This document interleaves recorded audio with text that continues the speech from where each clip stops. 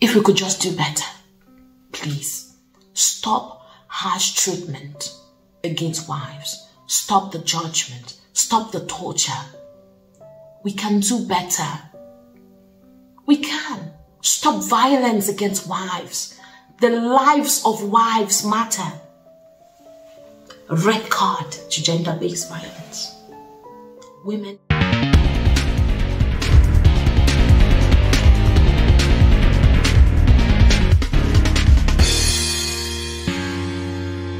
Hello, beautiful people. Happy December. It's been a bit and I've missed you. Welcome to Footprints with Bertuelle.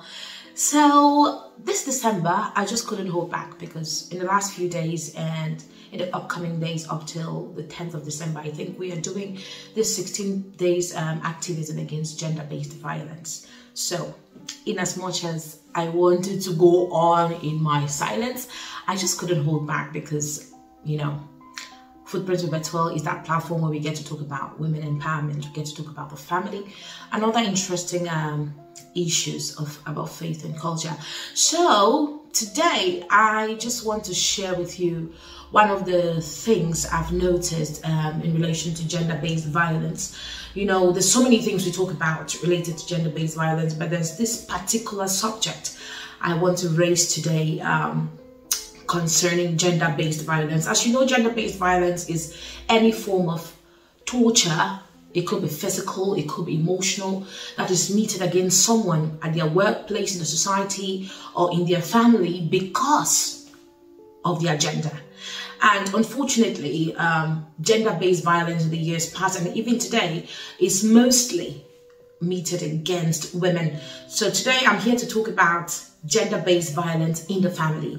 Some people could call it domestic violence, but I'm not talking about the regular domestic violence. Today I want to talk about the harsh judgment and torture that society and families um, meet against wives.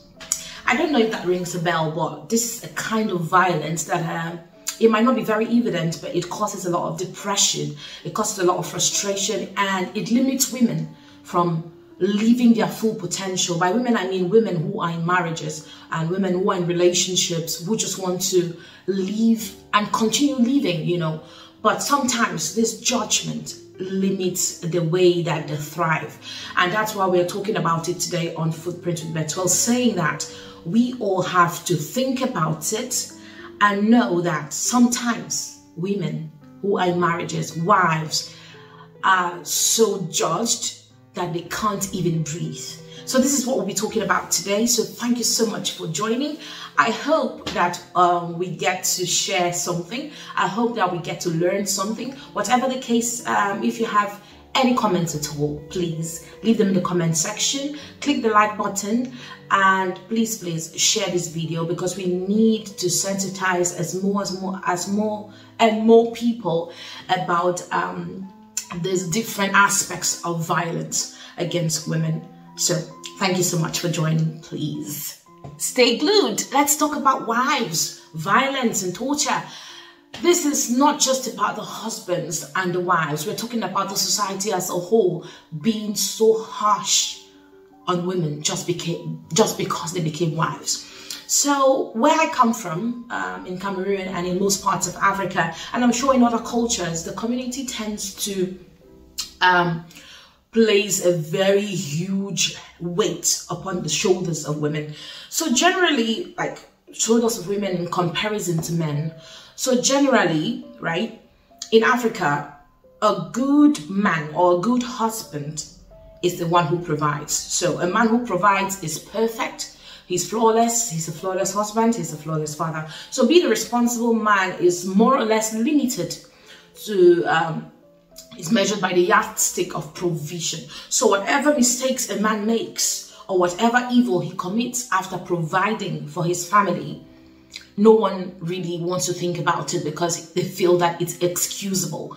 Generally, mothers always find excuses um, for these husbands who are not meeting up with their responsibilities apart from provision. So comparatively then to the woman or to the wife, right? So we see that it's different because every other family burden and responsibility seems to be on the shoulder of the African wife. And I think it's a bit too much pressure for the African wife because I, I, I, wrote a few of these things down because I'm sure that a lot of people can relate with what I'm saying. So, for example, if you say to your mother, um, um, Mama, my, my husband is never at home with the family, she'll be like, So what? If you say, oh, mama, my husband is cheating, it's like it's normal for men to cheat. They're polygamous in nature. If you say, oh, mama, my husband beats me, she'll be like, persevere. He's going to change. Keep praying. Something will happen and he will change. Remember, good husbands are scarce. And by good husband, she means a husband who provides. And then you'll hear something like, oh, mama, my husband is disrespectful towards me. He talks to me anyhow, especially in front of people. And they're like, who are you? He's your husband. He's older than you. He can do what he likes. You know, just respect him and obey what he tells you. You're being stubborn. And some women will be like, oh, mama, my husband is not accountable. He doesn't tell me where he goes. He doesn't tell me how he spends money. He just bosses around and he doesn't care how I'm going on, you know. And they're like, so what? Ha, you girls have really high expectations these days. So this is the typical mindset of a typical African mother who believes that the greatest luck a woman can find or a wife can find is a man who provides. So once the man provides, everything else is excusable. Now, let's switch the coins and go to the wives, right? I wish they were this tolerant when it came to women, but they're not. they're not tolerant at all. Um, so for some people, wives is a synonym for perfection. So you can be a human all you want, make all the mistakes you want, but the moment that you decide to become a wife, everybody, I mean the society, I mean your family, I mean your husband's family, your in-laws, I mean your friends and your husband's friends, everyone expects you to be perfect, flawless, in fact, to stop being human, you know. And the good wife trophy is the most prized and it seems to be the most demanding job in the world in Africa. You know, um, that good wife is a lady who has cutting edge skills and character. Most importantly, she's infallible. No blemish at all. She's not allowed. because the moment she slips, woo, everybody like, what? What have you done? What are you doing? Everyone goes on and on and I'm like, God, can wives just breathe? right? So the good wife is expected to be flawless. No room for mistakes, no room for shortcomings, no room for imperfection. That will be so intolerable as a wife because the world is going to judge her. Physical on uh, physical in-laws, online in-laws, every street corner, every neighbor, they are waiting to crucify any wife who dares to make a mistake. And sometimes the standards are so high, you wonder if a human person can actually fit into the description of what a good wife should look like. So, everyone seems to agree that every human person is, if is fallible, can make mistakes. But no one seems to agree that a wife gets to be imperfect. For what? No, it doesn't even matter how old she is. She could be in her 80, she could be in her 20, she could be 18, she could be 25, but she has to understand everything and be perfect before she gets married. Nobody gives her that room to make any mistake. So as a human, we can make mistakes, but as a wife, mm -mm, you don't have a chance. You dare not. Everyone can struggle, but the wife should never struggle. She should get along with everybody. She has to be superhuman. She should never complain about anything. She should just be collective, calm, and perfect today and every day. How is that possible?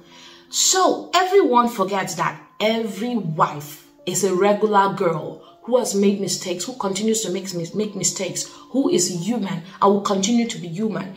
But she has been bestowed with the responsibility of a wife, something she's never had experience for. I mean, someone will be 20 years old, 25 years old, she gets married. She barely knows what adulthood entails. She barely knows what being a wife entails. But everyone wants her to go about it graciously and to dare not make any mistake because the moment she does, people will judge her and and condemn her and torture her and place harsh judgments on her. Goodness. Some of these girls are still trying to find themselves. They don't even know where they are in the world. They don't even know what they want to do with their lives. Cut them some slack, for God's sake. Lots of these people have no experience at all. Personally, when I got married, I was 24. You know, I was naive about so many things. I was naive about motherhood. Uh, I was naive about basic things like calculating my menstrual cycle. I could not bake. I, I didn't even know how to wash an oven. I didn't grow up in that kind of setting. I didn't know many things. I didn't know much about money management. I didn't know about house management because I never lived alone all my life. You know, I was 24. I was just trying to figure out what wolves are there in the world. You know, I was just trying to get along with myself, with being an adult. And boom, marriage happened. I was excited. But then you know what? All of that excitement would just come crushing because the judgment, the torture, they don't even allow you to rest. They don't even allow you to breathe. Everyone is expecting you to be good and perfect. Goodness. But with time and experience, this is me. I'm figuring it out. Some of those things that seemed so impossible back then, I'm figuring them out. Yes, today I can say that I have been learning, unlearning, integrating, unintegrating. Man, it's not been easy. My judges have always been on my neck with a sledgehammer, but I'm thankful for growth because even this judgment can cause you to grow. So please, my people, I'm just out here today to say everyone who is a wife or a husband only learns on the job. Nobody was born to be a wife. Nobody was born to be a husband. These people learn on the job. But society can't seem to, to give wives a chance to figure out what wives are supposed to do, what wives are expected to be, what being a wife is all about.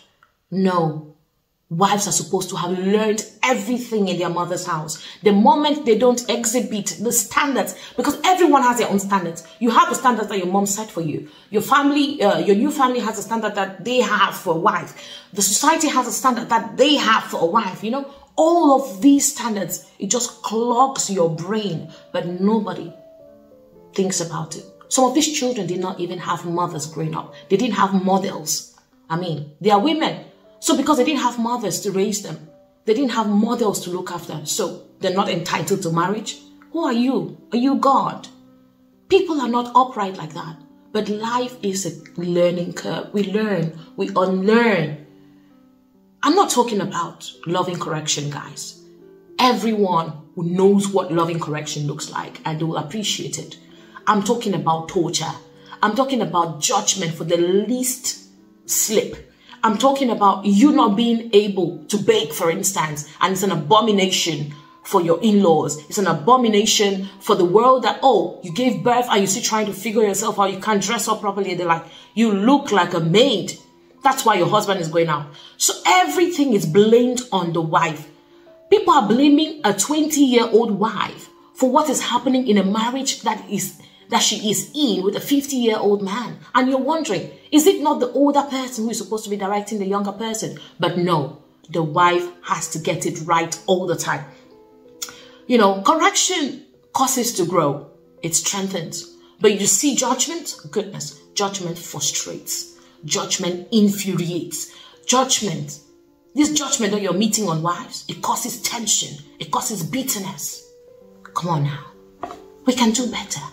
We can stop the harsh judgment on wives. We can stop this form of gender-based violence. Being a wife is not a crime. This is very common, you know, but it goes unnoticed because people think that that's just the way it is. And it is stifling. It is depressing, especially on new wives.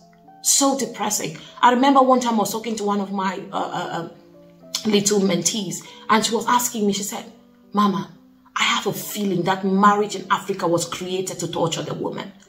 Because that's how it feels. Sometimes you feel suffocated because you have to get everything right. Come on. These people are human. You know, the most intriguing part is that this torture, you will think that it's men only who do it. But surprisingly, women are the champions of torturing these wives. Unfortunately. they are champions. They hold that lamp of judgment to the eyes of a wife without mercy. They hold that sledgehammer ready to hit your head the moment you sleep, according to their dictates. Fellow married women, I've seen bullying young girls who just got married, bullying fellow women who are still trying to understand what's going on around them. Women who intend to marry, you know, they've not even married though, they don't even know what marriage is about. They too are there passing judgment. They don't even know what awaits them. And you think that mothers have experience, so they know better. No. Mothers, even mothers who have daughters, are the harshest of them all. They torture, the blame, the judge. Goodness. I don't understand what's going on. Sometimes it feels more like is it revenge? Is it punishment? Because it's not normal for a woman who has maybe been through stuff. It's easier for you like me. You know, I, have I've been down this marriage line barely 10 years, but there's so much, so much uh, uh, uh, discrimination against wives that it is giving me this soft spot for fellow wives. You know, every time I talk to a wife, it's easier for me to see through their pain because I have been through pain myself. There's this way that marriage puts you in a box in Africa. It's, it's crazy to think that fellow women who have been through the same system don't see anything wrong with it. And they are, they are, they are the king perpetrators. It's sick. It's sad. Is it payback? Is it payback like bullying in school? Like, because I was bullied, then I get to bully you. And then what about you who is not even married? who is still planning to get married, who intends to marry. That harsh judgment you're passing on your brother's wife, that harsh judgment you're passing on your friend's wife, do you think you're going to have it easy? If all of us could just think about it, you know, correct with love, you know, slow down on the judgment, maybe the lives of wives will be much easier. But please, no one gets that chance. If only we could allow wives to learn, to breathe, to unlearn, and to just be human. Make mistakes, learn from them, get corrected with love, get hugged when they are depressed because of motherhood. Get empathy, especially from fellow women. Goodness, if we could just do better, please stop harsh treatment against wives. Stop the judgment. Stop the torture. We can do better. We can. Stop violence against wives. The lives of wives matter. A red card to gender based violence. Women deserve better. Wives have a lot they're dealing with. Some of these women even have children. There's so much she's taking on. She's only in her 20s. Give her some time. Give her some space. Let her breathe. Let her learn. Let her unlearn. The patterns that people grew up with, they have to unlearn them. Please stop. Stop gender based violence against women, especially wives in this case. Correct them with love Show them mercy. Thank you very much. You know, this gets me emotional because I see, I see it a lot. But I thank you so much for staying to the end of this campaign. thank you for staying. Please comment. Tell me what you think about all of these things I'm saying. Like this video, please, and share so we can spread the word and say, you know what? Wives deserves wives deserve better. Um, wives' lives matter and red card to violence against women. Tata, take good care of yourself.